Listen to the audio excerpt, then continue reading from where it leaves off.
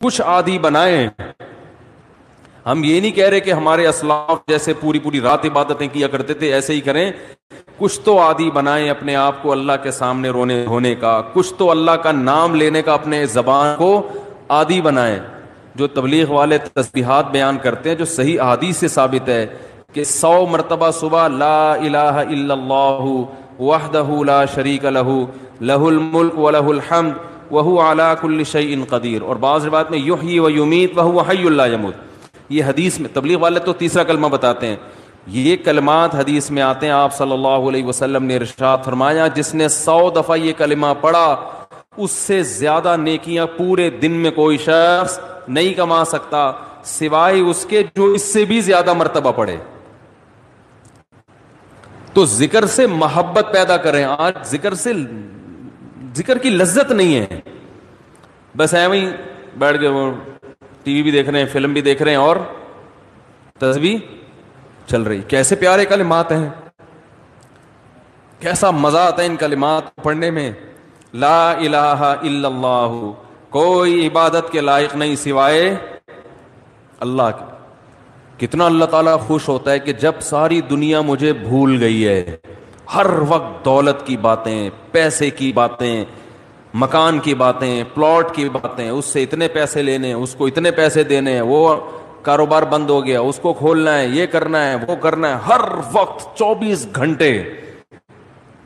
जिसने पैदा किया, जिसके पास लौट कर जाना है, सब चीज़ें छोड़नी है यहाँ पे, ये बीवी बच्चे भी छोड़ने हैं, यही कबर में उतारेंगे। जो आज कह रहे हैं ना, वो हम रह नहीं सकते आपके बगैर और ये और यही उतार के आएँगे कबर में। और अगर कोरोना से मर गए ना, अल्लाह बचाए तो कब्र में भी नहीं जाएँगे। बोलेंगे, ये तो मर गया, हमें ना मार दे कहीं। दूर दूर से। देख नहीं रहे कैसे जनाजे हो रहे ये तो इंसान की मोहब्बत है, ये तो औकात है इंसान की। तो जिसके पास लौट कर जाना है और जिसने बनाया है हुआ आलम बिकुम इज़ तुम अजिन्नतुम फ़ी बुतूनी अल्लाह फरमाते हैं, जब तुम माँ के पेट में तैयार हो रहे थे ना, वो रब तुम्हें उस वक्त से जानता है। उस वक्त तो वालदेन भी इंसान को नहीं जानते। कितना करीबी ताल्लुक। हर एक का तस्करा जबान से करेगा, नहीं करेगा, जो सबसे ज़्यादा करीब है उसका तस्करा नहीं करेगा। और अगर अल्लाह का ज़िक्र करेगा भी तो किसी ने कोई वजीफा बताया होगा जिन भगाने के लिए दुकान खुलवाने के लिए कारोबार खुलवाने के लिए बच्चे की शादी नहीं हो रही अपनी हो, नहीं हो रही हो रही है तो पछता रहा है उसको भगाने के लिए हो गई है तो बच्चे नहीं पैदा हो रहे हो, हो गए तो वो चित्रौल लगा रहे हैं उनको सीधा करने के लिए अल्लाह को खुश करने के लिए अल्लाह की मोहब्बत में अल्लाह का नाम लज्जत से लेने के लिए कि मुझे बस उससे मोहब्बत है उसका नाम लेने में मुझे मज़ा आता है। इस नीयत से ज़िक्र करने वाले मार्केट में बहुत शॉर्ट मिलेंगे आपको। बहुत कम लोग मिलेंगे। कोई बैठा हो ना, सुबह अल्लाह अल्लाह कर रहा हो, क्यों कर रहे हो? वो जी फला पीर साहब ने बताया था। वो फला पीर साहब ने कहा था, ये करोगे तो ये वाला काम हो जाएगा। ओ भाई, अल्लाह ने पैदा किया है, जैसे दुनिया का तस्करा करते हो, बगैर ज़रूरत के करते हो ना। खातन जब आपस में मिलती हैं, दूसरे का लिबास देखती हैं, बहन कहाँ से खरीदा, कितने का खरीदा, ज़रूरत होती है। हालाँकि जेब में एक पैसा भी नहीं होता खरीदने का। लेकिन मोहब्बत जिस चीज़ से होती है, उसका तस्करा करने में इंसान को, बोलो ना भाई, मज़ा आता है। मर्द जब आपस में बैठते हैं, तनख्वाह पूछ रहे होते हैं, कैसा चल रहा है बिज़नेस क्या हो रहा है, कितना प्रॉफिट हुआ? जिस चीज़ से मोहब्बत है इंसान को, उसका नाम लेने में मज़ा आता है। तो ये मज़ा अल्लाह का नाम लेने में भी पैदा कर लिया जाए अपने दिल में। तो वही कैफियत होगी कि दम रुका, समझो अगर दम भर भी ये, सागर रुका। मेरा दौरे ज़िंदगी है जो, ये जो दौरे जाम है। हज़रत फरमाया करते थे, हमारे हज़रत जब बयान करते ना, और अल्लाह की मोहब्बत में कभी कोई कोई शेर सुना दिया तो पूरा मौजू उनका चेंज हो जाता था। जैसे मैं शादियों पे आता हूँ ना अगर तो पूरा मौजू मेरा क्या हो जाता है? अरे जहन्नम की बात चल रही हो, वहाँ की होलनाकियाँ चल रही हो, सांप बिच्छू, और किसी ने शादी की बात कर ली तो हमारा पूरा टॉपिक चेंज हो जाता है ना?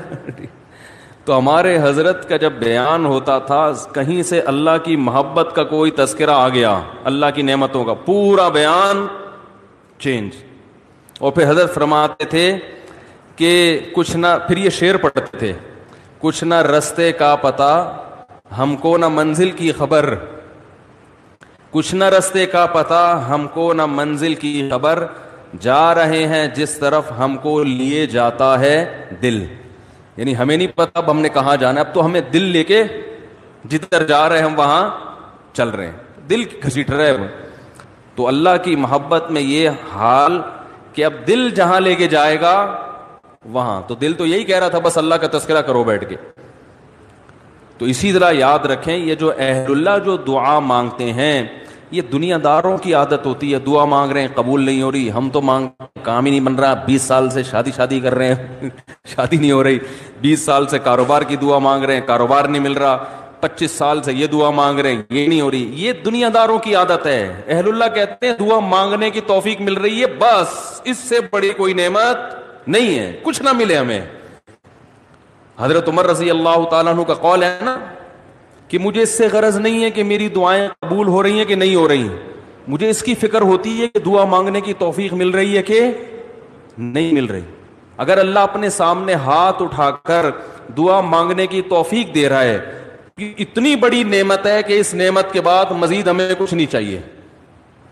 भाई, अल्लाह तोफीक दे मेरे सामने हाथ उठा के मांगो। तो ये हर एक को थोड़ी मिलती है तोफीक? आज दुनिया में दुआएँ मांगने वाले सबसे कम हैं। सबसे कम। एक तो मांगते नहीं, ऊपर से मांगते हैं तो ऐसे ही बददिली के साथ। कि वो दिल ही नहीं लग रहा होता उनका। और फिर दो चार दफ़ा मांगे, बोले, कबूल, जाके देखें, कबूल हुई है कि नहीं हुई है? रिस्क मांगे कि अल्लाह मुझे इसके हलाल कुशाद बता फरमा उसके बाद बटवा निकाल के चेक कर रहे हूँ यार, कुछ भी नहीं आया, वैसे के वैसे ही है। कारोबार लॉकडाउन की वजह से ठप हुआ हुआ है बिज़नेस का बेड़ा गर्क हुआ हुआ है। तो भाई जो अहलुल्ला हैं, वो कहते हैं, देखो जितना ताल्लुक दुआ के वक्त इंसान का अल्लाह के साथ होता है ना, इतना किसी और चीज़ में नहीं होता। बरहरास अल्लाह से अपनी जबान में मांग रहा है। भाई ज़िक्र में तो कम से कम इतना होता है कि तर्जमा नहीं आता तो पता ही नहीं होता क्या पढ़ रहा हूँ मैं। लेकिन जब दुआ मांग रहा होता है तो बहरास अल्लाह से ताल्लुक। तो ये तो बहुत गहरा ताल्लुक है। तो दुआओं में जान खत्म, दुआओं में लज्जत बोलो ना भाई, खत्म। जब अल्लाह से ताल्लुक ही कमज़ोर पड़ता चला जाएगा तो भाई फिर जो अल्लाह को खुश करने के लिए जो आमाल अल्लाह ने बताए, वो कहाँ से पूरे होंगे? वो तो हो ही नहीं सकते पूरे।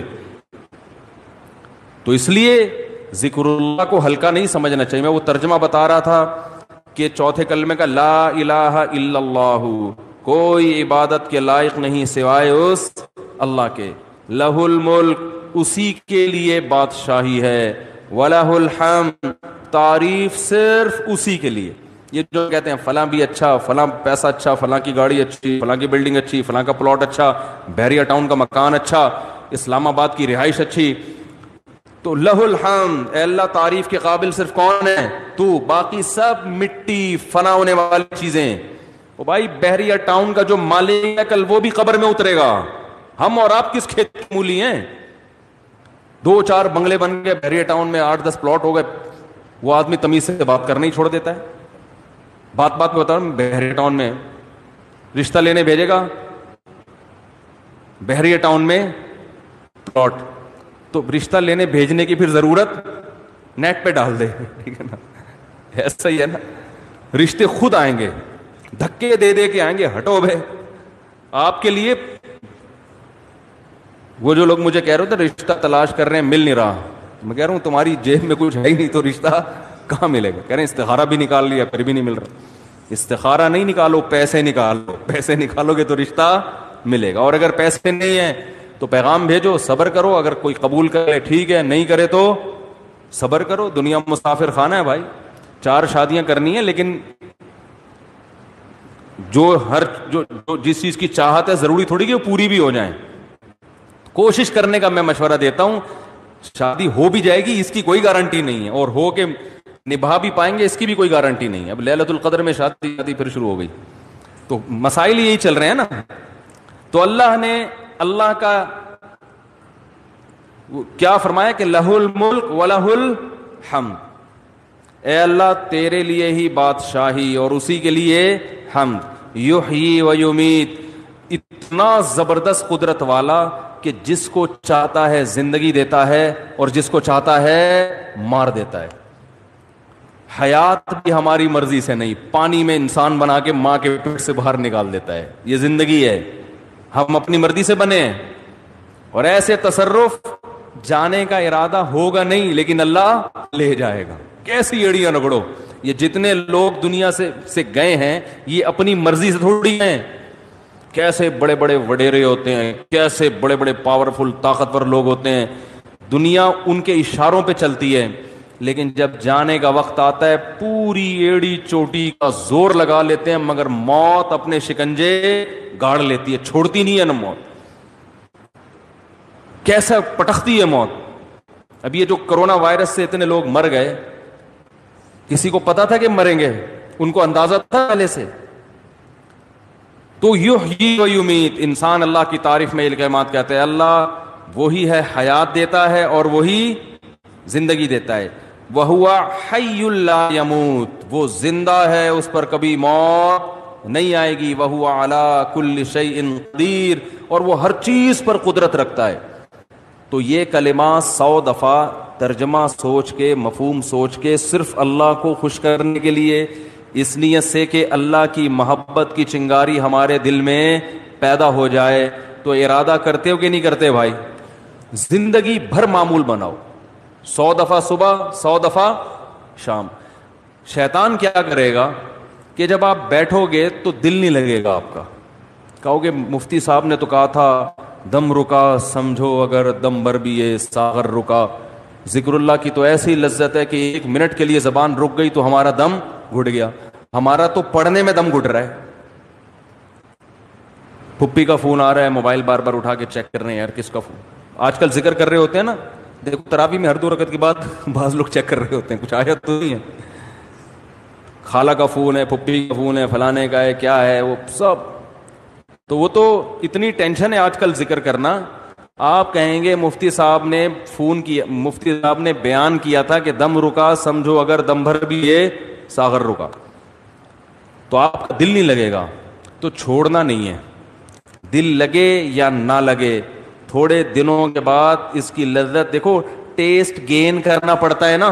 मुझे याद है जब ये ड्यू नई नई आई ना तो पेप्सी वाले ड्यू फ्री में बांट रहे थे। क्योंकि पहली दफ़ा ड्यू पीना ऐसे लगता है जैसे खांसी का शरबत पी रहे हैं। ऐसा ही था ना? लोग नहीं पी रहे थे, उन्होंने फ्री बांटी। हमारी कौम ऐसी है फ्री में आप ब्लीच भी पिलाते हैं तो पी लेगी। भाई फ्री है ना पैसे थोड़ी खर्च हो रहे हैं। तो लोगों ने फ्री में पीना शुरू करते करते उस टेस्ट के क्या हो गए? बोलो ना यार आदत पड़ गई उसकी। तो लत लग, लगानी पड़ती है टेस्ट गेन करना पड़ता है। अभी कभी अल्लाह का नाम लिया ही नहीं है ज़िंदगी भर। लिया भी है तो वह ऐसे ही कवाली में लिया है।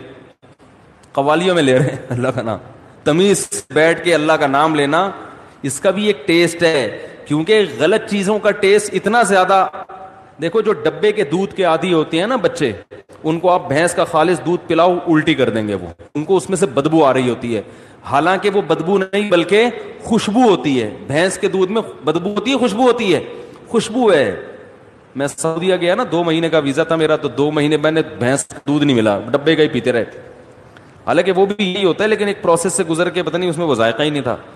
जब मैं यहाँ आया, किचन में जाते ही मैंने जैसे ही दूध की देगची का ढक्कन हटाया है, जो खुशबू के झोंके आए हैं।